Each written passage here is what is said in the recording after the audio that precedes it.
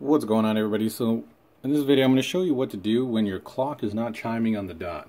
So let's take a look at this guy here. I'm going to go ahead and bring this down and I'll show you what I mean. So the clock should chime exactly when the hand hits 30. And you can see that it doesn't. It's actually closer to when it hits about 31. Yeah, it's not too bad. And uh, your clock could be worse. I've seen some go all the way to, you know, say two two minutes ahead before it actually chimes. Now, uh, fixing this is a pretty easy thing. It's something you can do at home.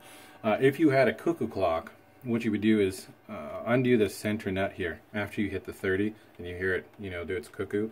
And you unscrew the center nut and let gravity sort of let the hand, you know, sort of sway back and forth and stop in the middle and you tighten it up and then run it up to the uh, the top of the hour and uh, it should hit on the dot. Uh, for most grandfather clocks and wall clocks and even some mantel clocks, you can't do it that way. So what you want to do is take this center nut off. Now in some clocks it's going to be a little bit stiff and you just want to use some pliers. Here, just wiggle this guy off. Hand's a little bit bent. Let me come and show you. You can see here, this is the this is the front of the hand that you'll see when you're staring at the clock on a daily basis. We'll turn it around and you see that little gold almost like a washer, but like a pressure nut. And uh, there's just enough room on the other side to grab it with some needle nose, nose pliers. So fixing this is really simple. So grab your needle nose pliers.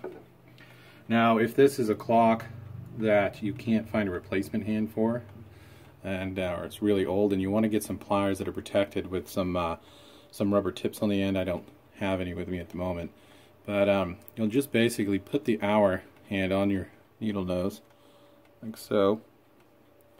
And just uh, pretend it's on the uh, a minute past the 15 and hold this real tight.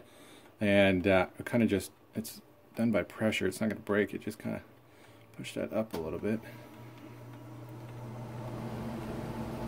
Give me a second here. Okay, so I had to go turn off my uh, air conditioner.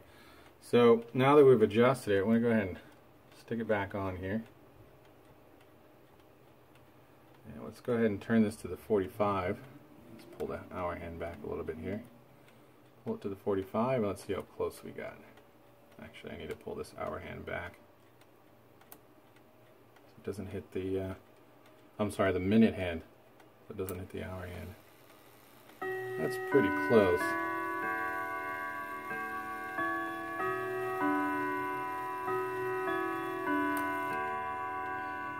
Pull that back just a little bit. So let's go ahead and run that up to the hour. And it should hit almost on the dot. Look at that. Say that's pretty darn close.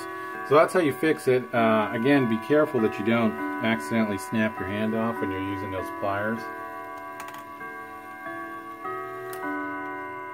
Tighten it up.